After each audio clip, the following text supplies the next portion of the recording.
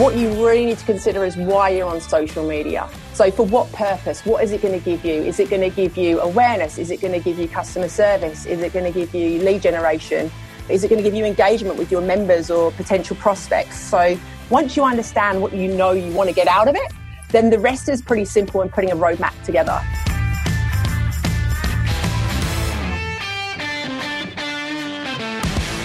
You're listening to episode 181 of the Fitness Business Podcast. We'd like to thank this month's premier podcast partner, OneFit Stop, scheduling, member management, point of sale, member apps, and multi location support that will set your business up for success.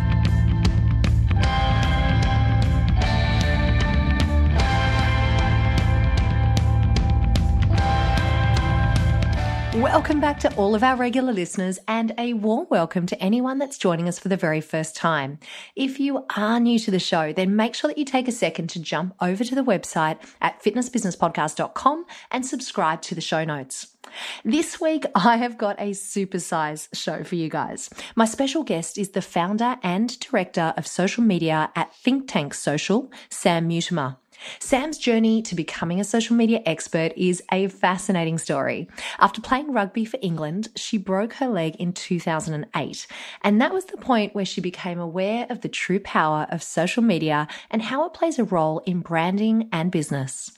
Deciding to make the most out of her time out, she began posting about her injury on YouTube and she started advertising space for businesses to bid in order to get their brand seen online. The video went viral and received over 27,000 views in just a matter of weeks. As she watched the volume of inquiries flood in, it justified to Sam the value of great content and a solid network connections for brands on social platforms.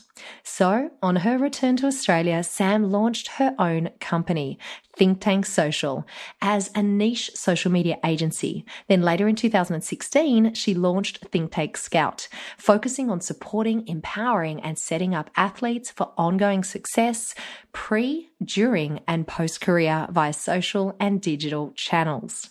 Now, with such an amazing wealth of experience, I asked Sam to join me on the show so that we could talk about social media strategy for your fitness business. Specifically during the interview, we cover where to start when developing a social media strategy for your business. We talk about the key components of a Facebook strategy, the key components of an Instagram strategy, the advantages and disadvantages of outsourcing. Plus, Sam leaves us with three tips on developing your social media strategy. As I mentioned up front, this is a jam packed show. So if you need to, make sure that you stop the podcast to write down any specific actions that you want to integrate into your business. And as always, you can head over to fitnessbusinesspodcast.com and download a transcript of the full show. So we're about to transition into this week's interview, but first, I want to thank this month's podcast partner. OneFit Stop's scheduling, client management, programming, and payment collection tools will set your business up for success. To find out more, go to onefitstop.com.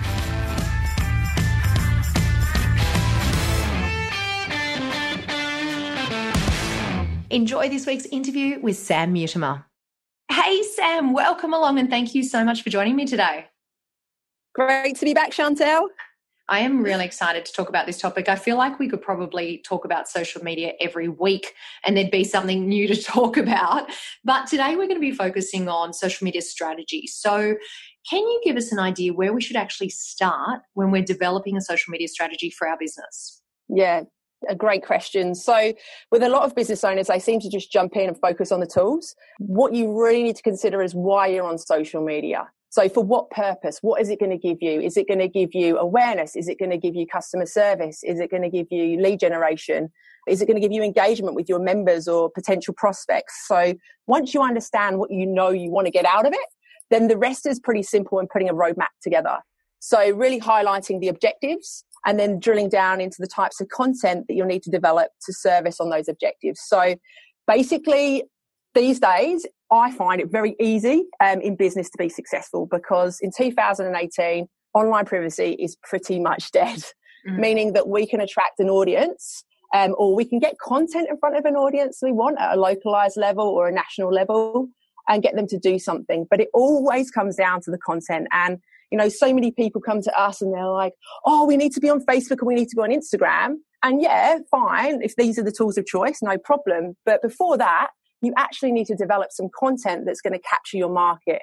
And if you haven't got the attention of the end consumer, then social media is not going to cut it for you. The other thing about strategy as well is you really need to be looking at social media as a long game. Um, it's not like a silver bullet. Like we have so many companies come to us and expect like success and lead generation overnight. Social media is about people becoming aware of you or your business or your brand or your gym. And then from there, starting to consider, oh, you know, maybe I'll go to it. Maybe I'll inquire. Maybe I'll pick up the phone. Maybe I'll share this piece of content. And lastly, it's to convert. So if you have a strategy over a 12 month period, really within, within the first 90 days, you want to be looking at awareness and awareness only. And that comes down to what type of content is going to resonate with my audience to make them aware of who we are and what we stand for and what we do. So it could be testimonial content of someone coming out of the gym and just saying, you know, I just absolutely love being here. I find this gym so, so friendly and they're always, you know, they remember my name and I've had so much success you know, using that type of testimonial as a video or really just anything that's going to be able to add value to your end user. So one of the things that we always ask ourselves is like, take off your marketing head and put on your human head. What would you want to see? What would get you excited? What would get you to want to engage or comment or share? Would, What would get you to want to pick up the phone and then go away and start to develop that content? Because marketing it's the easy thing. It's producing it is where you have to be yeah, really creative and really laser focused on the type of people that you want coming into your into your gym, into your club, into into your business, or who you actually want to be servicing PT sessions with. Sam, you mentioned content quite a bit in that answer there. Are there any examples of fitness businesses or personal trainers that you've seen operating, you know, recently that you would mm-hmm. say are an absolute stellar example of who's really nailing their social media strategy and their content production? Yeah, there's been a, there's definitely been a few businesses. What I've loved about some of the um, localized gyms around our area is they've been doing Facebook Lives, so a little bit of behind the scenes, what to expect before you come in, Q and A, um, where they start to mention, you know, people are asking about membership and, you know, can I have you got a digital membership or, you know, what what does the gym look like inside? Give us a tour. And I think these types of you know, live sessions are great because it breaks down the barriers and people feel a little bit more comfortable coming into the gym knowing that they've seen the owner or they've met with one of the PTs and it's just an easy sell. Off the back of the Facebook Lives as well, um, you can actually put advertising spend behind it. So let's just say, Chantal, that you've watched my behind the scenes and I'm taking you around the gym and I'm answering all these different questions that are coming in. I can then put some Facebook advertising spend behind it. I can retarget you and I can retarget a lookalike audience of you. And, you know, these things are really important because once someone's aware of you in the gym, let's say again through the Facebook Live, you then want to start to get your content in front of them so they're considering it. Oh, yeah, I remember that Facebook Live. Oh, now I've just seen that video testimony or someone that's lost some weight or someone that's really got shredded and gone into a bikini competition. Now I'm actually going to convert and inquire and become a member.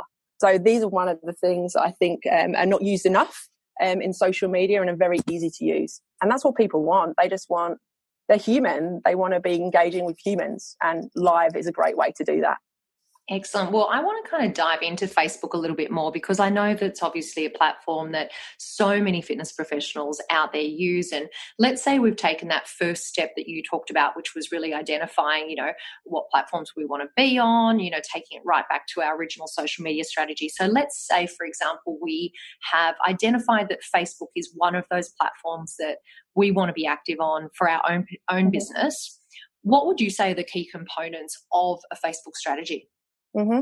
So again, like it's it's a it's a funnel strategy. So Facebook is about awareness, consideration, and conversion. So as you're developing your content, you want to have pieces of content that you know pe- make people aware of your gym, um, what's inside it, like the opening hours, and then some consideration contents. So it could be like a campaign. I don't know. It could be um, win a pair of Adidas shoes. I'm not too sure, but you know now they're starting to consider and they're entering their email address in, and then you want to ask for the sale, so that conversion. So whether that's an offer, an incentive, a meet and greet, um, just branching from Facebook just slightly and leveraging it back in. Influencer marketing is huge at the moment. So if there's someone in your localized area And it doesn't need to be a celebrity, it can be a micro influencer. So let's just say a mum that comes to your gym that's got an audience that you want to get in front of, then you can start to bring her in as part of your content strategy. Do a deal with her. So it could be that you say, Hey, Chantal, we're going to give you a year's free membership. And as part of that year free membership, you're going to develop some content for us just to showcase your journey and coming to the gym three times a week. And what we're going to do with that content is we're going to put it out on Facebook and you're going to put it out onto your social channels and we're probably going to put some advertising spend behind it as well. So um, you need to make that content real and you need to ensure that it's being targeted to the right people. And then again, like, don't be afraid to ask for the sale once you've educated them enough to get them excited about joining. I love that concept of a micro influencer because I think, you know, we often think about uh, the, you know, having ambassadors in our business or influencers in our business, but by breaking it down to that kind of micro level and the example that you just gave of, you know, let's say there's a mum in our gym that's working out, that could be a really great person to utilize. So I want to just take the opportunity to encourage everyone to have a think at the moment about their own client base, whether you're a personal trainer and it's the, the clients that you're working with, or you're a gym owner and it's the people that are coming in and attending your classes. I guess have a think about who from those audiences could be a micro influencer for your business. Okay, so let's hold there for just a second. If you like the sound of that micro influencer or the ambassador concept, I have actually included in the show notes a sample ambassador agreement from our foundation partner, Active Management. You can download it at fitnessbusinesspodcast.com in today's show notes. And if you want to know more on the subject, then go back and take a listen to show 145 with our special guest, Deb Heisler, where we go into detail about using a brand ambassador in your fitness business. I'll include a link in the show notes. Okay, let's go back to the show where Sam is going to give us one more tip regarding Facebook marketing. If you're using Facebook for lead generation, our Facebook account manager, and we've been running this with gyms probably for the last hmm, maybe two years now, similar strategies, you'd need a minimum if you're looking for conversion of one and a half thousand dollars, uh, that's Aussie dollars a month to invest into that full funnel strategy to get your conversion. So, Sam, when you said one and a half thousand Aussie dollars per month, is that regardless of business size? Yeah, it is because you're all competing to get in the news feed. So everyone's bidding to get the right audience at the right time. And so whether you're small or large, again, everyone's in that space. Like Facebook is a lucrative business. Um, and yeah, you will get charged those rates. Granted, if you've been on Facebook for three or four years um, and you've been using the advertising tools, you probably will pay a lower cost per click or conversion to someone that's just started on Facebook in, from advertising perspective. There's other ways which we could touch on, Chantal, as well, around if you haven't got or if you're choosing not to invest into Facebook, I can share other ways that we've been successful. But just while we're on Facebook advertising, a lot of gyms, I would imagine, would have a database. Um, one of the things, if you've not done this already, is to set up your ads manager, so business manager for Facebook. And what you can do, and this is where you can get a really low cost and low conversion, is you can upload your database into Facebook and if someone is using the same email address as their Facebook login as what they are for the email they've given you, you can target them and then you can do a mirror audience of them, which is basically like, let's just say me, Sam, 39 years old, lives in Melbourne, goes to Good Life Health Clubs in Prahran, loves the Melbourne Demons. You can duplicate an audience of me through a different ad set without having to think about it. And what we do know is when we work with gyms and we upload databases into Facebook that we get much lower cost per click and cost per lead conversion from being able to do that. Right. So all we need to do that is that a lookalike audience, Sam? Is that what that is? Yeah, that's yeah. right. Okay. Yep. So all we need to for a starting point for that is that database that we've collected. Co- correct. And I don't want to get too technical, but again, this probably will be the last thing I'd share on it. Um, if you are investing into Facebook, you need to get a Facebook pixel on your website. So if you don't, then you'll be wasting money. The purpose of the pixel is that number one, you can show a conversion. So it's a little bit of code that you can put on your website. You can get your developer to do it, or it's there's lots of YouTube videos on how to do it. But you can see how much traffic's coming from your Facebook ad.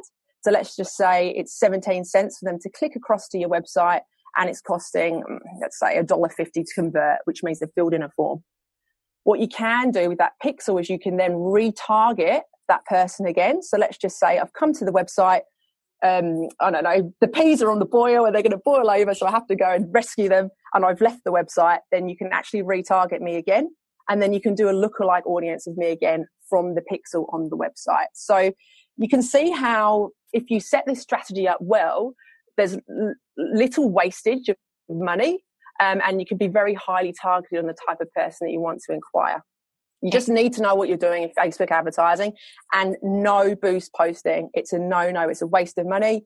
Go into the back end of Facebook and there's something called post engagement. That's what you need to be using. If you boost posting, it really is not targeted and you're, waste, you're, yeah, you're wasting your money there.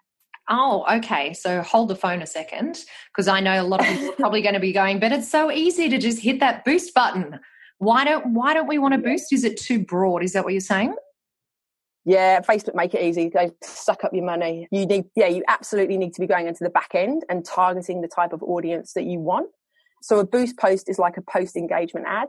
So you can go into the back end, set up a post engagement ad, and then target who it is that you want. So you can target location. Let's say they're going to a fitness expo and you know that that's the type of audience that you want. You can target your post locationally around that fitness expo. If you just boosted it, then it's literally just going out to some followers and some followers that like that similar audiences.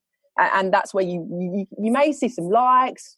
Meh, who cares about the likes? You want the engagement and you want the conversion. So again, get yourself savvy with Facebook Business Manager and Ads Manager within it and again like if you do invest there then you you will start to become successful you just need to get into the back end and start to understand it a bit more Thank you for explaining that to us, Sam. Okay, let's transition over to Instagram now. So, we talked about the key components of a Facebook strategy. Are they similar or different when we're looking at Instagram? Yeah, Instagram's really it is different to Facebook. So people go on Facebook usually for friends and family and discovery. People go on Instagram for a niche, passion, or a purpose. So when you're developing Instagram content, um, I mean, you could use a similar image, but it's a, just different copy. It's different text. So make it really, really niche to not only like your health club or your personal training studio, but what you can also do is, um, I suppose, start to leverage those hashtags. So we spoke earlier about influencers, right? Or people that you may want to leverage that go to your gym. I would recommend that each gym develops their own hashtag and then you can track it that way. You start to encourage members to start to use it and incentivize them to, I don't know, win a holiday or whatever it is, they can win something. And then you can start to pick up on those hashtags, comment on their pictures, and then potentially regram and use some of their content as part of yours if you ask. And that type of strategy is really organic and people love that because sometimes they don't just want to hear from the brand they want to hear from the people that go into the health club and their experiences. So you want to encourage content sharing and the brands that do you know the brands that ultimately get that have got the cream. If someone's talking about you more than you are then that's every business wants that. So some of the instagram strategies are how do we encourage our member or our potential member or our micro influencer to start talking about our gym in a meaningful way that we can then reuse some of that content to reach new audiences. The other thing about Instagram is you have to be a be aware that Facebook owns Instagram. So you can run Instagram ads. And one of the most successful with the gyms we're working with ads compared to Facebook ads right now are Instagram stories. So we did one recently um, and it was, oh, it, it, was a reduced cost. Um, and it was like in, a, I think it was like April and it was just a tiny little video that showcased the gym and then it was a swipe up to inquire. And we got higher lead conversion through that face uh, sorry from that instagram story ad than what we did through our facebook advertising and lower spend. So when you think about instagram again like it's niche um, but it's documentary and storytelling through instagram stories is probably one of the main I, I would say main ways that you can start to engage with that person that's considering joining your health club by again Instagram takeovers, getting people to take over and showcase the gym, showcase a day in the life of. Some of the staff can showcase what they are doing in the gym, and then you can use that story as an advert as well with a swipe up to inquire. Okay, Sam, I want to talk more about this Instagram story swipe up because I think that's an area that probably a lot of people haven't explored as yet and might be interested in. So, where do we go to set up our Instagram advertising? You know, we all know where to go to to set up our um, to have a look at our Facebook analytics and set up our advertising for Facebook. Where do we go to do our Instagram advertising? it's in the same place. It's an ads manager. Um, and it will say, Would you like to run this on Instagram too? And then you select yes, you can target your audience there, you can select story. And um, you just need to make sure that you've got obviously the right content and the right size for an Instagram story to go in. Um, and then you just book it in. And we'd recommend as well that you run it on a lifetime budget, not just like a daily budget. Because on a daily budget, Facebook will just say that, for example, you put $10 a day, Facebook will just burn that up and keep spending. Whereas if you put a lifetime budget, for example, over a four week period, Facebook will just see when your users are on and off and then spend accordingly. But everything's done in Facebook Business Manager in the Ads Manager section. And with that swipe up capability, do you have to have a minimum number of followers in order to make not, that active? Not if you're using advertising. If you're not, then you do. But if you're using Facebook advertising, you can use a swipe up. Uh huh. So if you pay for it, you're okay. Yes. okay, and you gave us, and it's cheap, Chantal. Well, that's what it's I was so just about cheaper. to ask about budget because we talked about one and a half thousand a month for Facebook. What can you put a number on Instagram? Like how much are we talking about for an Instagram live campaign? I would I would divvy it up to be honest. So um, within Facebook and Instagram, you can split test your ads. I don't want to get overly complex here, but uh, I think it's important that we're all aware of the fact of what's possible. So, for example, let's say you've ran three Facebook ads and three Instagram ads, all which are conversion ads. So basically, we're setting up a piece of content because we want someone to fill in a form you set them up and then you just divvy the budget. So 1,500 divided by six, and then you watch it. So every 24, 48 hours, let it run for a couple of days and then afterwards see which ads are performing the best. And then you can pause some, um, keep the others going, ship some coin from one ad that's bombing out into maybe the Insta story ad that's doing really well. You just need to be across it, but give it at least 48 hours for it to kick into Facebook's algorithms and start to get that content out there.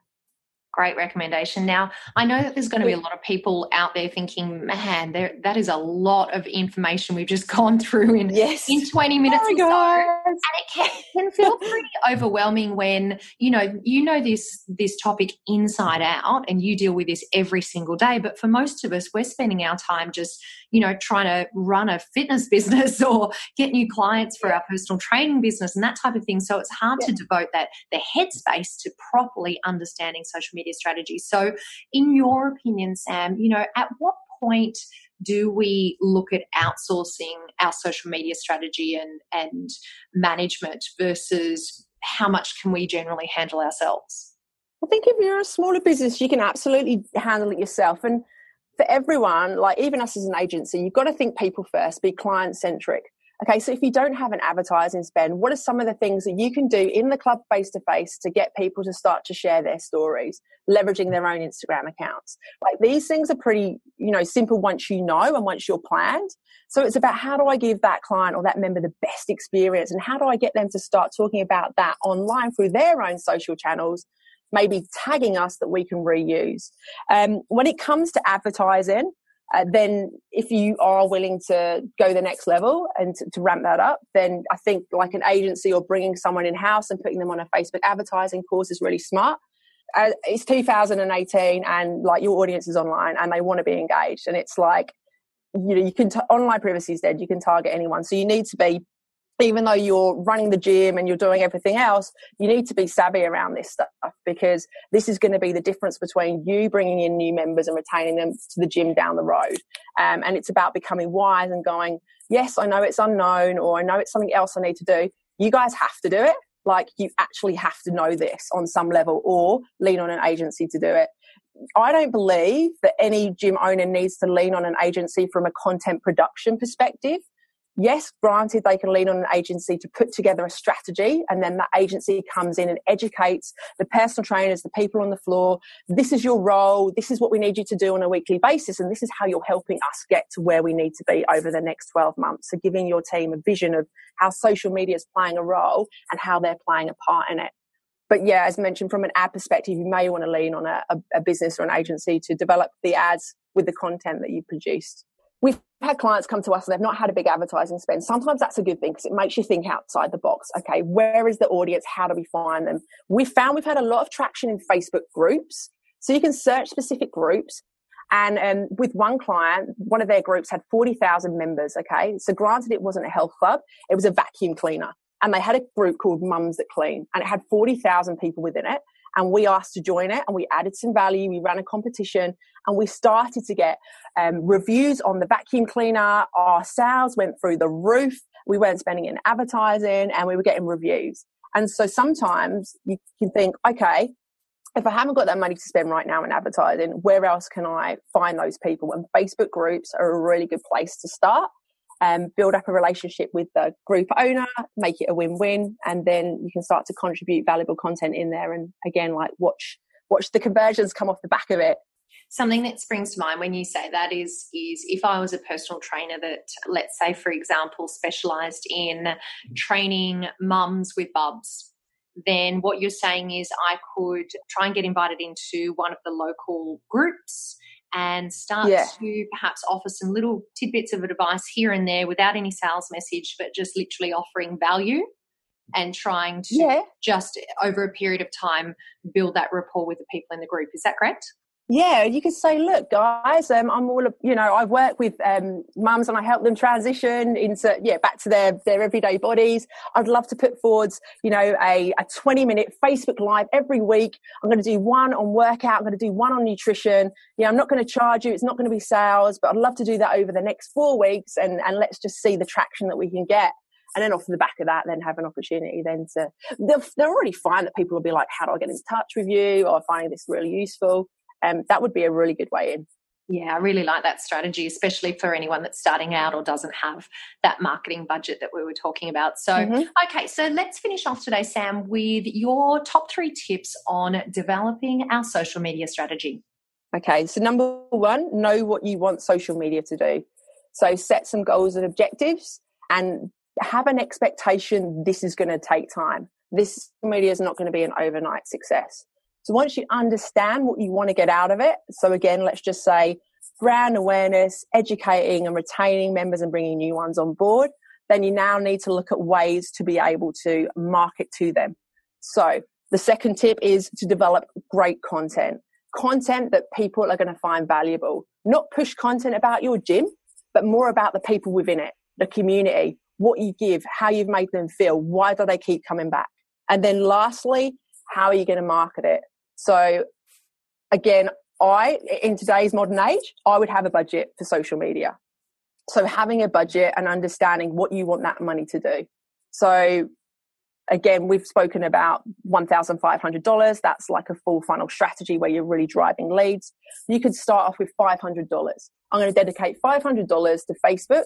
I'm going to put that $500 behind this piece of content, which is going to be engaging, this piece of content, which is going to make people aware of us, and this piece of content, which is going to drive people to the website. And over the next four to eight weeks, I'm going to look at what the results have been and increase, decrease, and tweak as you go.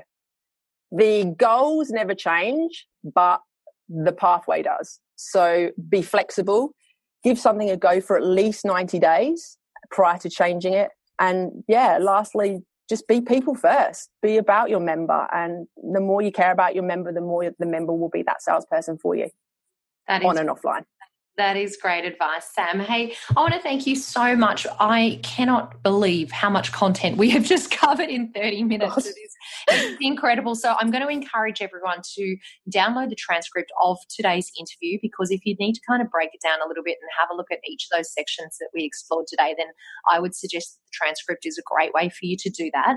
Now, Sam, if people want to get in touch with you, if they want to find out more about your agency and the work that you do and whether or not that's an option that they want to explore, where should they get in contact with you? Yeah, so it's thinktanksocial.com.au nice and easy. And of course, we'll put that link in today's show notes. So, Sam, I want to say thank you so much for coming on today and for sharing your expertise and definitely your energy with the listeners of the Fitness Business Podcast. Thanks, Chantal. Pleasure to be here. MyZone is a wearable technology platform that leverages personal goal setting, gamification, and social platforms to motivate your members. To find out more, go to myzone.org.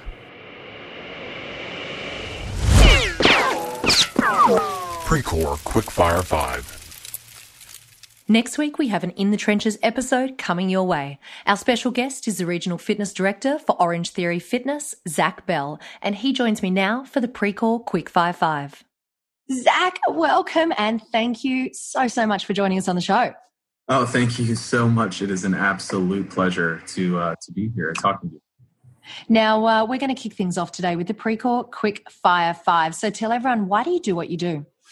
Oh, man. I think most fitness professionals give the cliche answer of, I really enjoy um, helping people. But in all honesty, I tell folks all the time, you can find something that um, you feel very passionate about, and it just so happens that you're helping a, wide range of people at the same time. It's very rewarding. So I think that's why I do what I do on a, on a daily basis to, to be able to connect with people, whether it be employees or clients, staff members. It's a great day when I can connect with some folks, maybe teach somebody a thing or two throughout the process. So I think it's just connecting really is being around people and helping them reach their goals, whether it be professionally or personally. And what's one ritual that helps you become better at what you do? You know, I, I, when, I, when I got this question, I was trying to think of something that, that I that I do day in and day out. I actually breathing was was something, and it's funny when I think about breathing.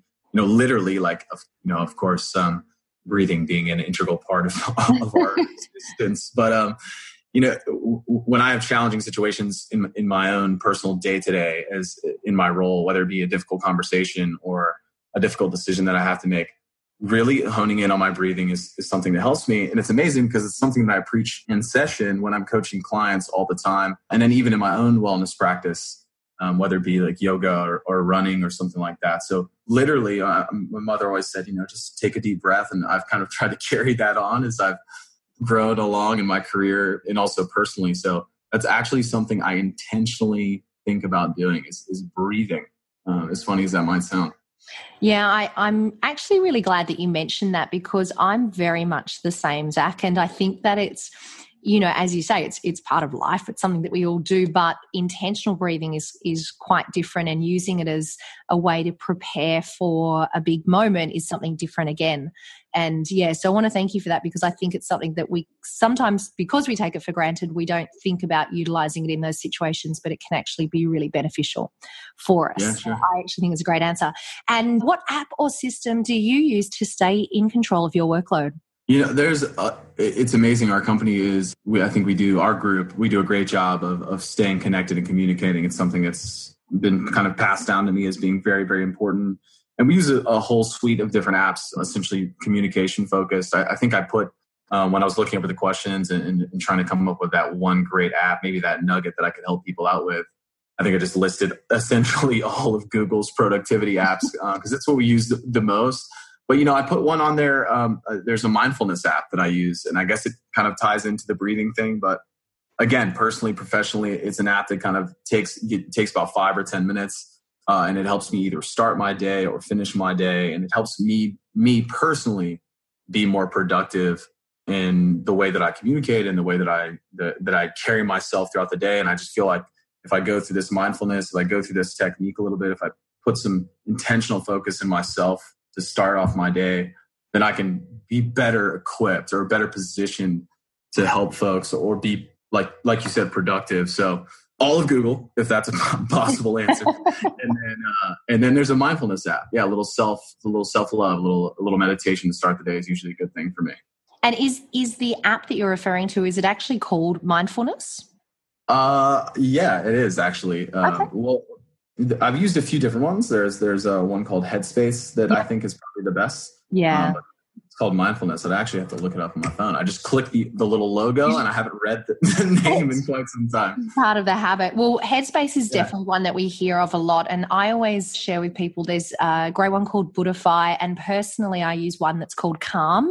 And if you yeah. like the whole, you know, in, intentional breathing for, you know, for a particular purpose, then Calm is a beautiful app to use that I recommend um, people can try out. So thank you so much for that, Noel. Um, I'll find find the link. We'll definitely pop Headspace in there. And if there's any others that you want to link up, let me know and we'll put those in the show notes. Sure. And so, uh, Zach, what's one book, podcast, or blog that you'd recommend and why? Well, you know, I it's funny. Your last guest, Ryan Holiday, is actually one of my favorite authors, uh-huh. and I of his books that he has. I think the Daily Stoic uh, is a is a great text. You know, it's a, it's a short, um, easy to digest, uh, but I feel like very impactful and very you know beneficial tool for just kind of a little day-to-day check on on yourself and, and doing a little self-auditing or or maybe just giving you the reminder you need on on how you should kind of carry yourself or how I feel I should carry myself or maybe some rules to live by. So, you know, anything by Ryan Holiday, I'm a big fan of. I think uh, most of his work is enjoyable reads. It's applicable. It seems very relevant. And um, Daily Stoic, Ego's the Enemy, those are both like probably my, my two favorite books. I really enjoy those. Great recommendation. And if anyone missed our interview with Ryan Holiday, that was show 180. So you can check that out, and I'll put another link in the show notes for today. And Zach, tell everyone just briefly what we're going to be focusing on during your main interview next week. Yeah, main main uh, main focus is going to be people. I mean, that's what the fitness business is all about. Is people. So we're going to do some talk about uh, recruiting and, and how to get the best people um, for you and your brand, and um, find those people that are going to stick around and, and be the perfect pieces for your puzzle. Such an important topic. Well, I want to thank you so much for joining me today for the Precor Quickfire Five. Thanks, Zach. Yeah, thank you so much.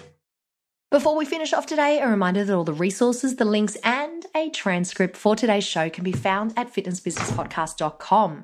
Thank you to our foundation partner, Active Management. They, of course, have an amazing gift for you all. Their number one selling checklist is yours for free. It will turn your About Us page on your website into a lead generating page. All you need to do is go to fitnessbusinesspodcast.com forward slash active for your free download. Thank you so much for joining me for another week of the show. I'll see you next week and and remember, what you leave behind is not what's engraved in stone monuments, but what is woven into the lives of others.